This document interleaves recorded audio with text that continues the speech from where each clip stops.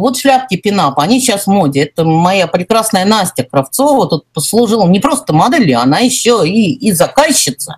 То есть, да, конечно, нужна некоторая смелость для того, чтобы носить такие вещи. И тем не менее, они очень украшают жизнь вот, вот такую маленькую шляпку научиться делать можно буквально за час. Что нам для этого нужно? Очень простые материалы. Сеточка, линеечка, ножницы, махровое полотенце, пшикалка, вот, ну, какой-нибудь утюжок, баночка, ну, где-то в районе там 7-8 сантиметров диаметром, э, кусочек подложки, труба для катания и тазик. Э, из материалов – Буквально возьмите, ну, у меня тут мельносовый кардачос 20-30 грамм, чуть-чуть кудряшек, чуть-чуть вискозы, ну, ободочек, заколочка, ниточки катушечные, иголочки понадобятся. Это уже больше для декорирования. Процесс, вот действительно, на самом деле, мы сократили мастер-класс до 20 минут, но этот процесс весь целиком у меня занял вот по записи 59 минут. То есть без одной минуты час. Это очень-очень быстро, но это дает возможность вот отработать навык. Куда, вот я специально поставила на паузу, потому что а, куда эти шляпки? Себе для украшения самого разного – для кукольников это очень удобная технология. Это тренировка, как делать такие шляпки, но в большем масштабе. Откуда пришла идея? Тоже не я придумала эту технологию, я вам честно скажу, но в свое время были очень-очень популярны американские видеоролики такие про то, как делают, формуют настоящие шляпы. Вот был классический такой ролик про шляпу Федора. Вот. В общем, общем, вот технология взята именно оттуда. То есть по такой технологии делают и большие шляпы. Вот, ну вот двигаемся дальше. Итак, у меня вот этот круг 30 сантиметров в диаметре.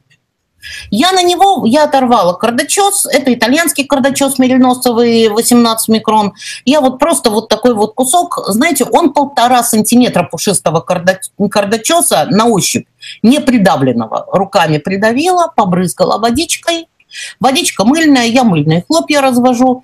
И вот я через сеточку, это москитная сетка обычная, из Москвы у меня привезенная, не здесь купленная. А вот через москитную сеточку я притираю вот эту вот шерсть. То есть я не оборачиваю шерстью шаблон. Я просто положила ее сверху. То есть шаблон для меня, он просто как бы обозначает границы. В принципе, этот круг диаметром 30 сантиметров можно было бы просто для себя как-то начертить, там, я не знаю, на кусочки подложки, еще как даже не вырезать. Вот. Ну и вот я притираю, притираю, притираю. Мне надо, чтобы а, пропиталась вся шерсть мыльным раствором, чтобы ушел лишний воздух. То есть вот вы видите, даже очень хорошо видны контуры шаблона. И дальше я начинаю, руки должны быть после этого сухие, потому что дальше я начинаю раскладку вискозы. В, даль... в данном случае я брала не шерсть, а именно вискозу, потому что, ну, как бы вот это изделие такое, оно быстрое, и мне хотелось бы, чтобы вискоза блестела. И вот я показываю, как разным образом можно а, вот эти вот а, прядочки вискозы отрывать. Тут ее надо раскладывать толстым слоем, сразу вот толстым слоем раскладываем, потому что она должна поверхность основную всю заламинировать. Вот, закрываем всю поверхность, и тут даже на самую серединку я уже не выкладываю пряди. Причем смотрите, где вы хотите использовать вискозу как декор. С изнаночной стороны, с лицевой, как вам больше нравится. У меня тут она будет с лицевой стороны. Вот, и когда я разложила всю вискозу, я ее закрываю сеточкой тоже, чаще всего даже не надо дополнительно брызгать водой, я ее просто придавливаю, хватает той воды, которая уже пропитала шерсть. И дальше я вот аккуратно шлифмашинкой, тут это ускорено, ну а так где-то на счет 5-6 я ставлю шлифмашинку. Я извиняюсь, у меня неизбежный шум на улице, это вот так вот едут парамедики на вызов. Мы живем на очень большом перекрестке, к сожалению, да, и это все равно вот слышно, когда говоришь. Извиняюсь за этот эффект, ну все, вот они сейчас уедут, дай бог, чтобы они успели и все были живы-здоровы. Вот, и шлифмашинкой я прошлась по одной стороне, Соответственно, я прохожусь по другой стороне. Вот тут не надо пугаться неровных краев вот этого круга. Потому что все равно нам эти края подрезать, честно я вам скажу. Вот на этом этапе, ну просто, почему я обрывала этот кардачес ориентировочным таким кружочком, чтобы потом легче вырезать. И вот тут вот я вам показываю, как, куда, в принципе, можно укладывать декор, если вы декорируете просто шерстяную поверхность. Вы для себя расчерчиваете сначала ориентировочный диаметр, а потом смотрите, можете приложить кудряшки. Вот, хорошо, хорошо, руками, шлейф машинкой, при, притерли вискозу, декоративные волокна, взяли какую-то вот трубу, палочку и на полотенце махровом выкатываете вот этот рулон по 50-70 раз в каждую сторону. Почему на махровом полотенце, почему на не на микрофибровом? Микрофибровое очень хорошо, но оно может вам войлок высушить абсолютно. А нам надо, чтобы все-таки мыльная вода в нем немного оставалась. Поэтому я вот для таких процессов больше люблю махровое полотенце. А когда уже покатали на полотенце, когда уже у вас никакая лишняя вода, лишняя пена вам не мешает, можете перейти просто на ту поверхность на столе, на которой вы привыкли работать. Я очень люблю айкиевскую пупырчатую вот эту основу ротянель. Можно на обычной пупырчатой пленке. Вот сейчас это у меня, допустим, допустим, основа – это вообще такой резиновый, большой резиновый коврик. Тоже на нем легко и хорошо работать, еще на нем хорошо снимать, он не отсвечивает. Вот. И во всех вот четыре стороны, да, круг, надо его откатать. 50-70 раз достаточно с каждой стороны. Если у вас очень сильный нажим, ну, значит, может быть, вы будете это делать чуть-чуть так как-то вот меньше там по количеству раз именно, да, если, если это большое очень усилие.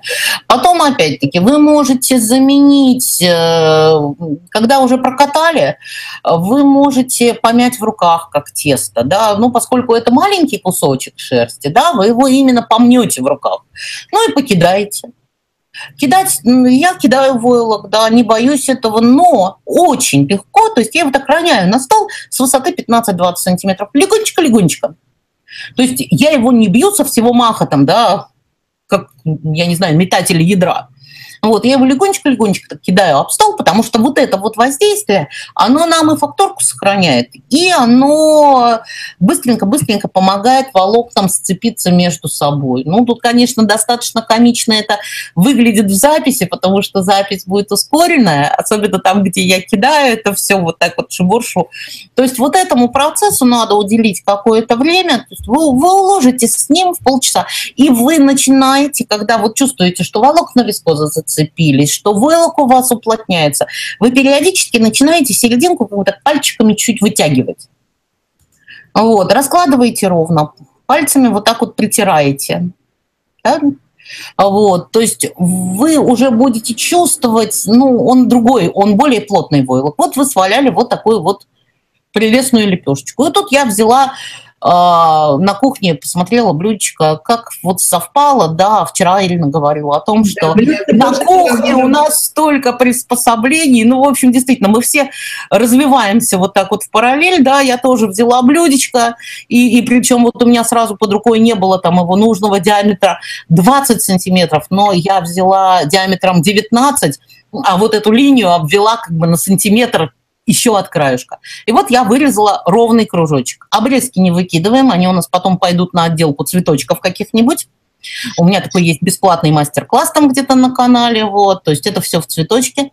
Вот опять помылили, вот этот уже кружочек, нам надо его чуть-чуть получше пропитать влагой, потому что сейчас у нас пойдет уже такой процесс формирования.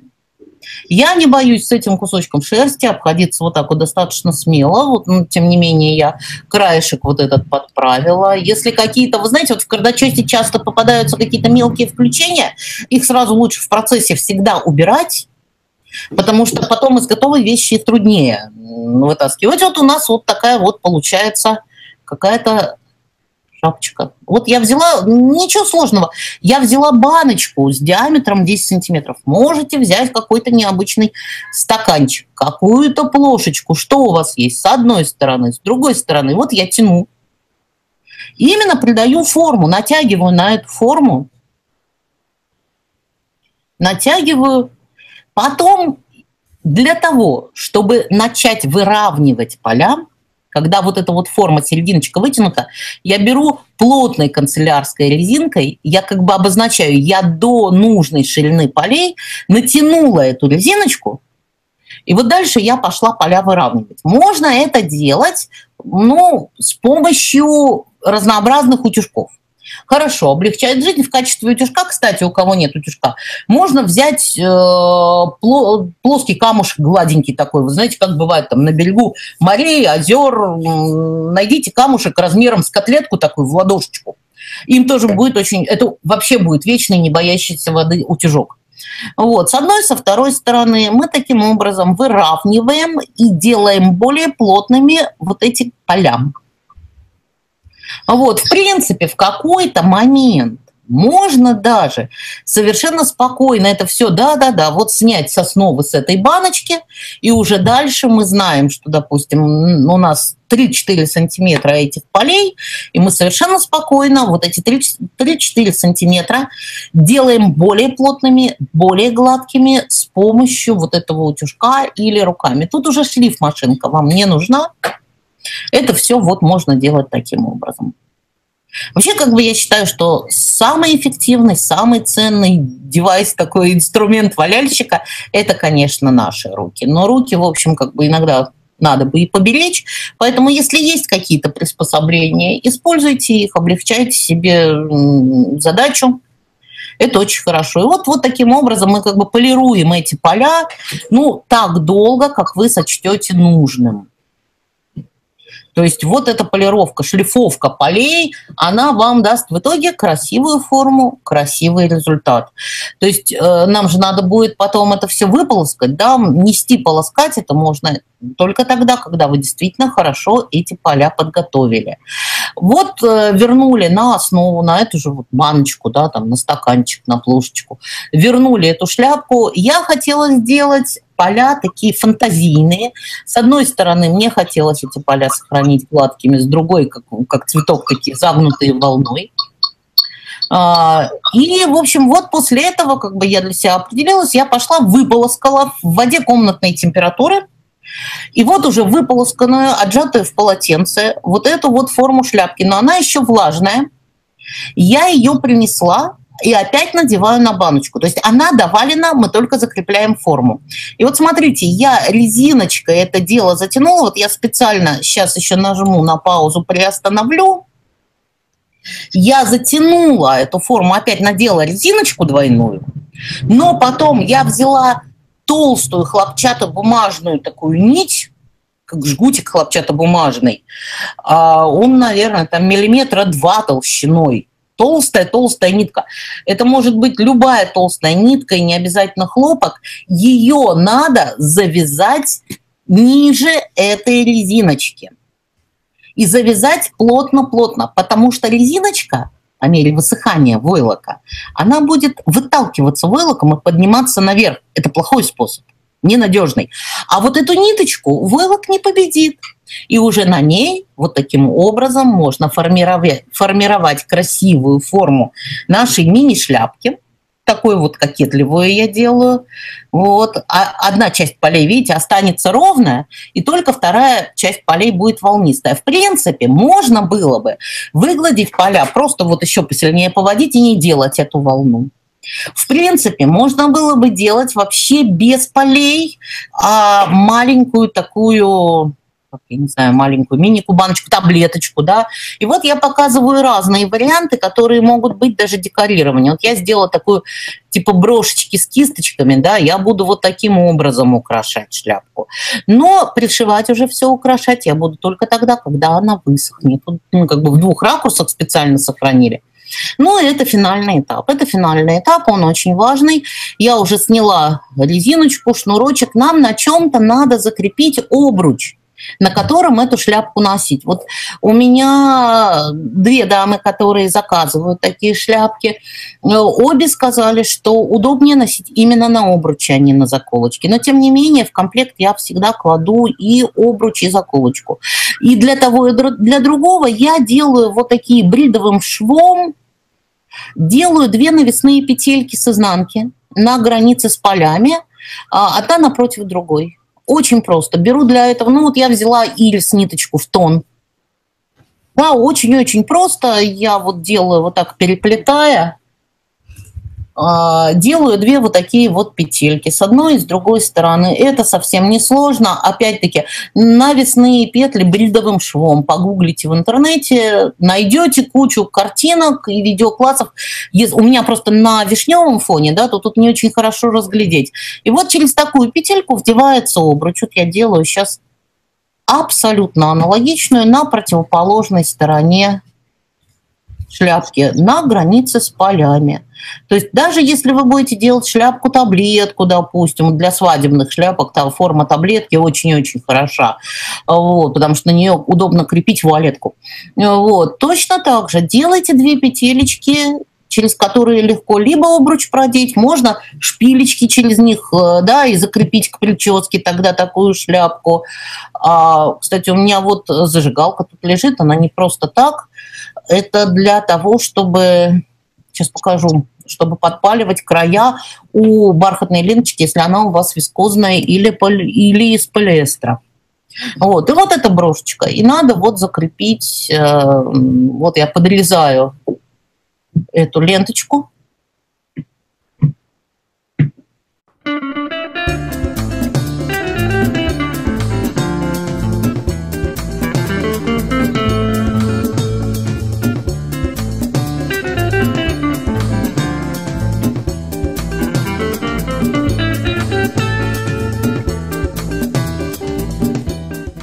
Вот я таким образом пришиваю сделанный такой романтический или бахический цветочек. Закрепляю им прямо вот эту вот бархатную ленточку. Ну, как вы видите, в общем, мы не вырезали ни одного кадра. Вот, вот как оно есть, так вот просто чуть-чуть ускорили. Да, для того, чтобы можно было разглядеть весь процесс полностью. Процесс элементарнейший. Войлок на этой шляпке очень плотный. То есть вот увалялось все, вот по слою вискозы можете смотреть, увалялось все в мелкое-мелкое зерно, прямо как манная каша, мельче пшена.